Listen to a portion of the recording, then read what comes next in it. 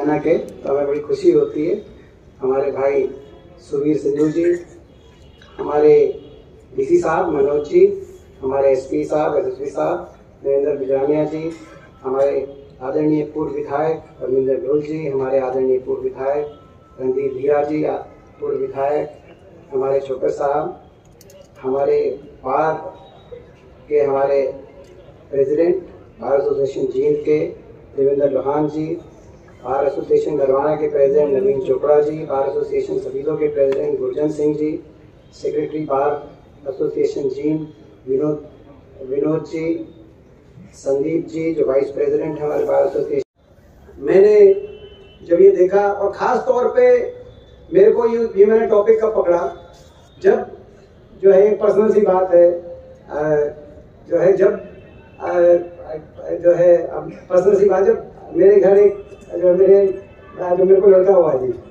तो तो जब वो, अब वो हमने एक दिन अखबार में आई हेडलाइन कि भाई दिल्ली में जो है वो कोई भी आदमी जो है एक दिन में दिवाली के अगले दिन पाँच सिगरेट जितनी जो है वो पॉल्यूशन इनहेल कर रहा तो मैंने ये सोचा कि यार ये इतना छोटा था कि ये कर रहा है और हम कुछ कर नहीं पा रहे। इससे ज़्यादा दुख बात क्या होगी? तब right to clean air act मैंने अपने खुद ही लिखा और प्राइवेट मेंबर बिल मैंने पार्लियामेंट के अंदर रखा।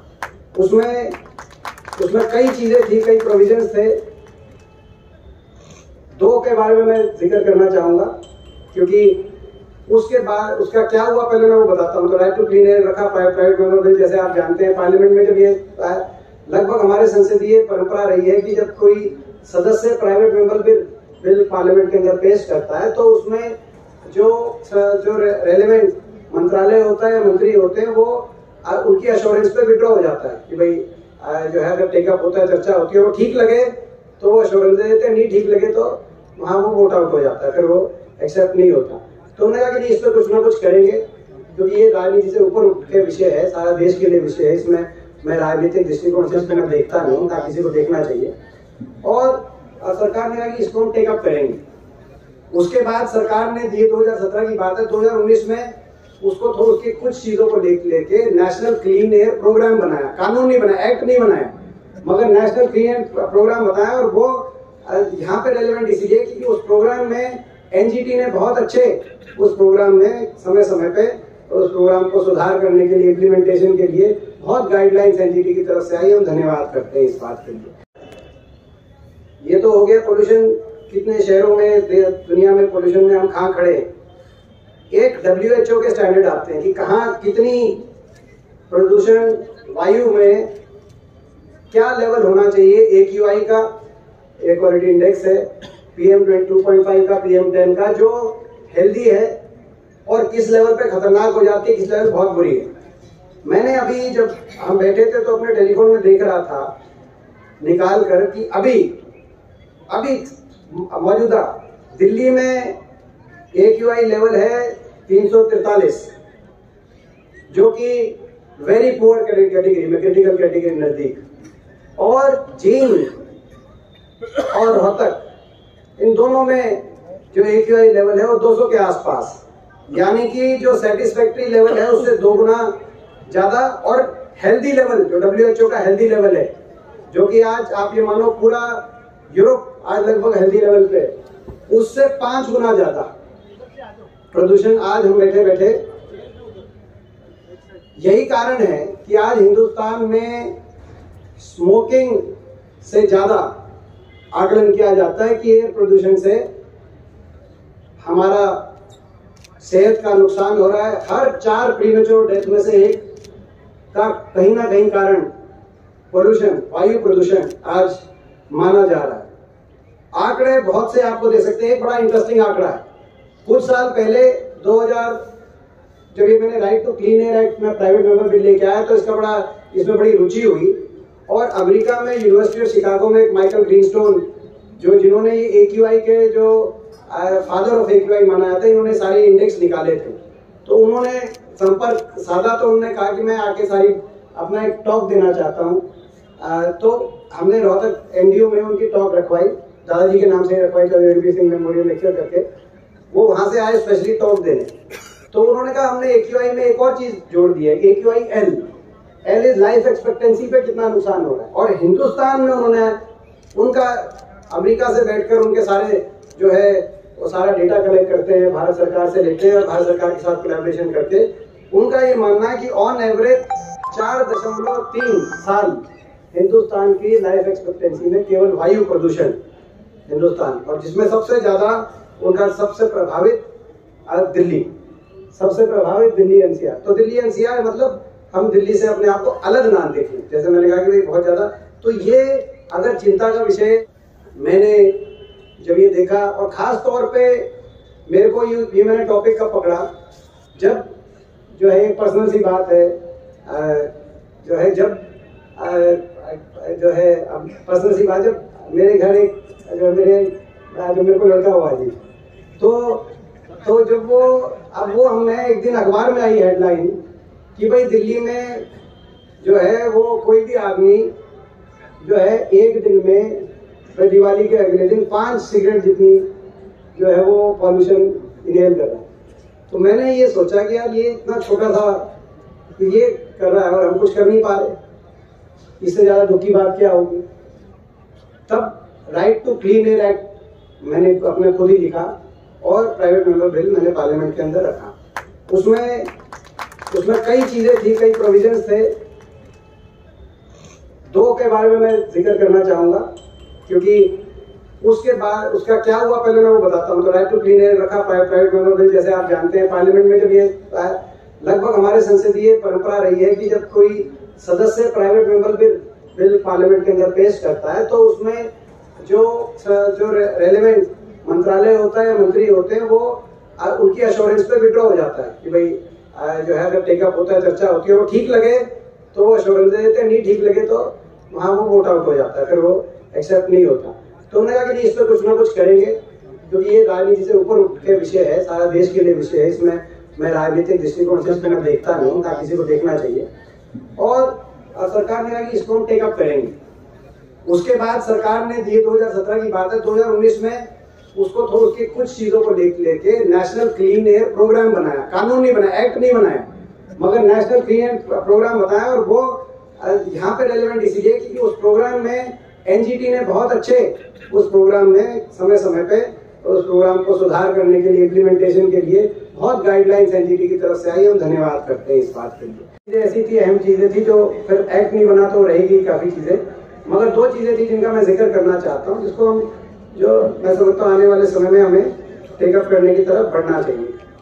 और आप लोगों की भी राय उस बारे में मैं लेना चाहता हूँ। देखो, इसमें कोई दो राय नहीं की एक तो कॉन्स्टिट्यूशनल प्रोविज़न लीगल जो है प्रोविज़न क्या ऑलरेडी कॉन्स्टिट्यूशन में आर्टिकल 21 है right to life right to life में right to clean air inherent है।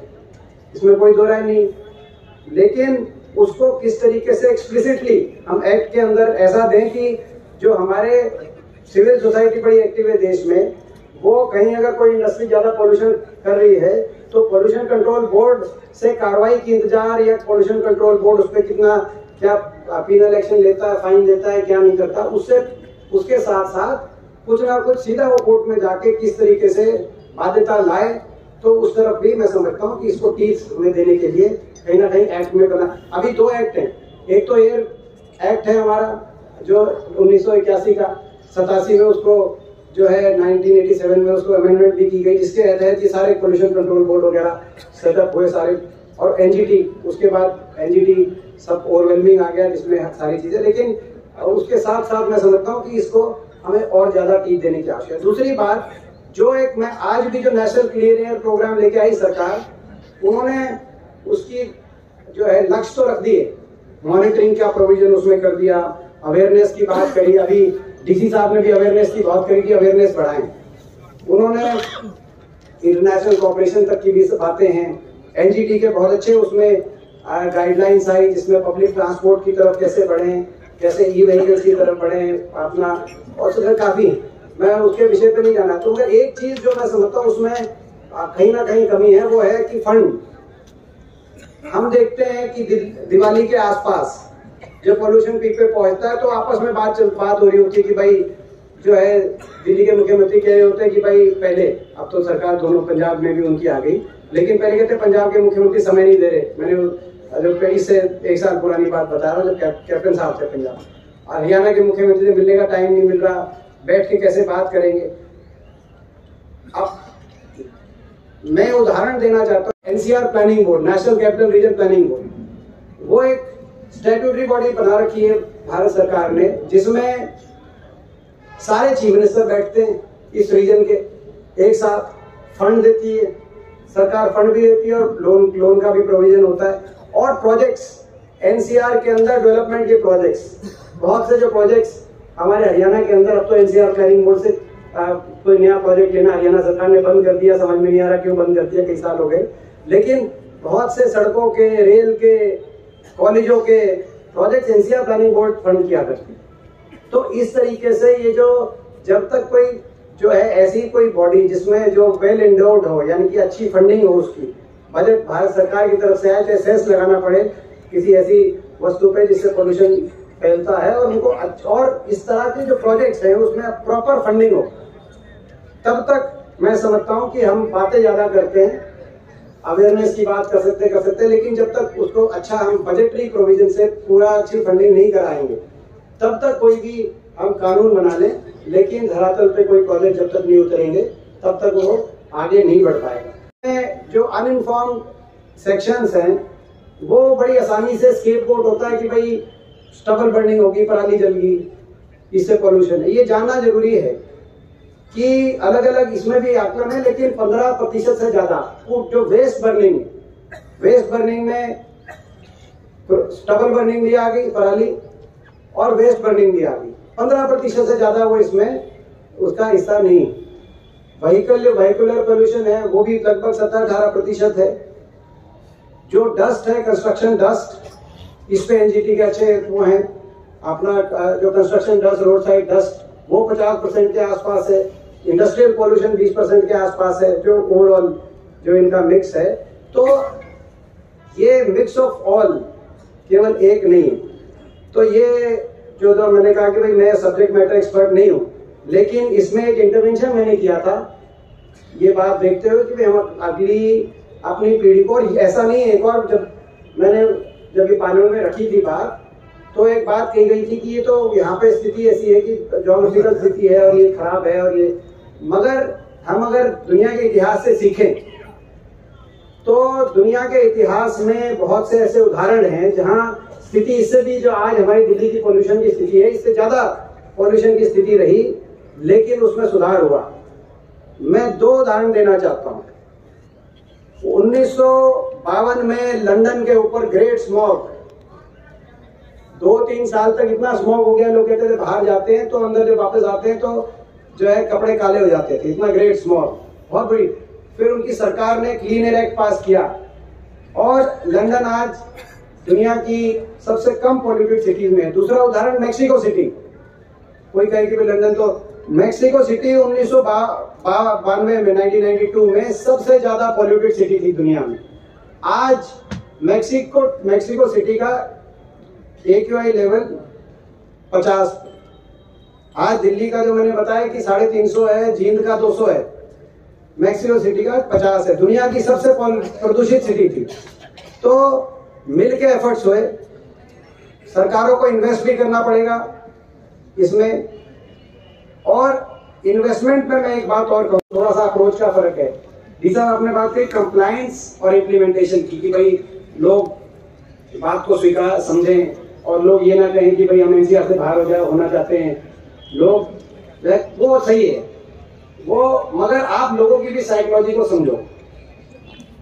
दो तरह के लोग होते हैं, सक्षम होते हैं और एक वो होते हैं जो सक्षम नहीं हो। सकता है कोई गरीब किसान सक्षम नहीं हो, वो अपनी मजबूरी में कर रहा। तो कुछ लोग हो सकते हैं, कोई इंडस्ट्री हो सकती है, कोई बड़ी जो सक्षम तो है, लेकिन पैसे बचाने के लिए कर रही हो। प्रदूषण में अपना आपके मेजर नहीं कर रही। तो कहीं तो आपको कंप्लायंस और इम्प्लीमेंटेशन डंडे से कराना पड़ेगा मतलब जो सख्ती करके, मगर कहीं आपको उनको इंकरेजमेंट करनी पड़ेगी, उनको फैसिलिटेशन करनी पड़ेगी, कोई ना कोई उनको सब्सिडीज ऐसी प्रोवाइड करनी पड़ेगी, जो जायज़ हो, जो, क्योंकि किसी को कोई नहीं चाहता कि उनके बच्चे प्रदूषित हवा जो है कि वातावरण में रहें, लेकिन कहाँ मजबूरी है और कहाँ डंडा ज़रूरी है? तो ये दोनों चीज़ें इसका एक बैलेंस होना चाहिए। मेरा ये क्योंकि जो है लोगों में मैं ये बात आपके साथ मैं सब्जेक्ट मैटर एक्सपर्ट नहीं मगर एक्सपीरियंस में बांट सकता हूँ अपना अनुभव बांट सकता हूँ। तो ये मेरा ज़रूर जो है आज इस विषय पे ये मैं ज़रूर कहूँगा कि सक्षम लोग जो हैं और जो सक, लोग सक्षम नहीं हैं जो आपके जो भी जो गाइडलाइंस आए वहीकुलर पॉल्यूशन की गाइडलाइंस आए चाहे वो क्रॉप ट्रबल बनने की बातें आए उनमें जहाँ जो है डंडा सशक्ति करने की आवश्यकता वहाँ वो की जाए। लेकिन जहाँ लोगों को सक्षम बनाने की आवश्यकता है, लोगों को कहीं ना कहीं जो है, उस रूप में कि भाई उस, वो चीज़ उनकी जो है उनकी सक्षम के लेवल पे उनको उस बात की दिक्कत ना तो वहाँ भी दोनों बातें, दोनों बात जीन बार की तरफ़ से असल में जो है, पहले भी एक दो बार बाहर का कार्यक्रम होते होते जो है किसी ना किसी कारणवश जो एक बार तो तय हो गया था दूसरा बेटे गोई साहब उस समय वो थे, बाहर के हमारे अध्यक्ष थे, बाहर का कार्यक्रम तय हो गया था, लेकिन जो है किसी कारणवश कार्यक्रम हो नहीं पाया। आज मुझे बहुत खुशी है कि आज ये कार्यक्रम हो पाया। सही बात है कि भाई मैं खुद एक एडवोकेट के नाते उस रूप में भी और सही एक परिचय दिया अभी। वो परिचय दिया विकास शर्मा जी ने कहा कि राज्यसभा के जो सांसद हैं ग्रांट ग्रांट की बात भी आई जो कि आप जो है हाँ जी हाँ जी। वो सुनील सिद्धू जी ने ग्रांट की बात की कि आप कुछ ना कुछ यहाँ पे हमारी इनिशिएटिव है लाइब्रेरी बननी है तो इसके आप ग्रांट का कुछ ना कुछ यहाँ पे राज्यसभा सांसद छोटे से।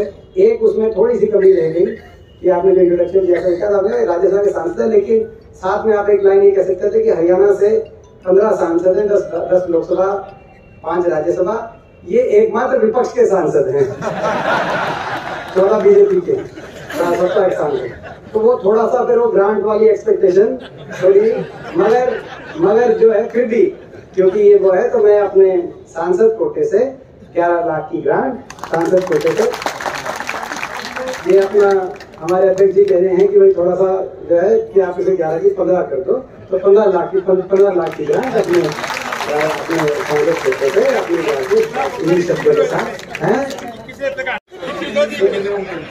ये कह रहे हैं तो भाई जो है, भाई इसे आगे मत बोलना मुझे ये पहले हम बनवा दो कि जो है, वो मैं अभी जज साहब से कह रहा था मैं भाई वकीलों से अच्छा कोई नहीं माँगता। आ, ये ये पहले से इनका तय होगा जी कि भाई आ ए थोड़ी आप बढ़वाना फिर कड़े का बढ़वा तो, तो भाई हाँ जी। साथ है हमारे भी हैं।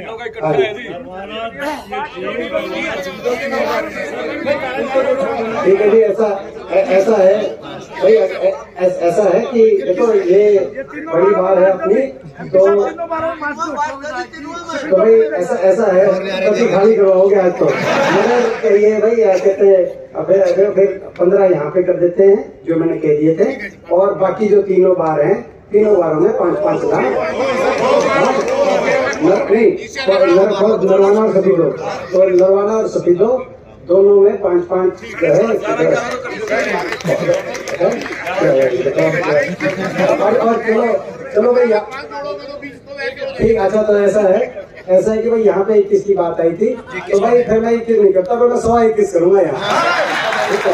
तो यहाँ इक्कीस कर देते हैं और दोनों जो अपना आपकी अपनी नरवाना शहीदों की बात उनमें पाँच पाँच कर देते हैं मगर उनका ये नहीं है कि पाँच पूरा हो गया जब वहाँ जाएँगे तो और कर देंगे तो आज यहाँ पे जो है आपने शब्दों के साथ एक बार